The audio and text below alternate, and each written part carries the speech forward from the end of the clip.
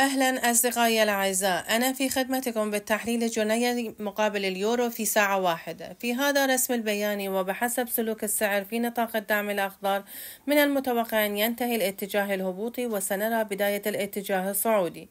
بالنسبة للاتجاه الصعودي فمن المتوقع أن يتمكن السعر من تجاوز نطاق المقاومة ثم تجاوز خط الاتجاه المقاومة. في هذه الحالة يتشكل استمرار الاتجاه الصعودي ويمكن أن يخلق استمرار الاتجاه الصعودي في رسم البياني بعد التصحيحات على المسار يمكن أن يكون خط الخمسين بالمئة هو هدف الاتجاه الصعودي وفي هذا البين يعد نطاق المقاومة هذا أحد النطاقات المهمة في الاتجاه الصعودي في هذا الجزء من الرسم البياني.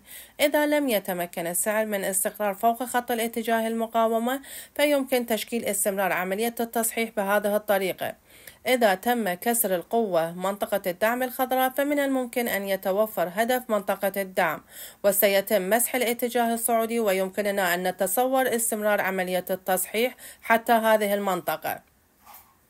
أتمنى أن يكون هذا الفيديو تحليل مفيدا لكم وإلى اللقاء إلى تحليلات التالي.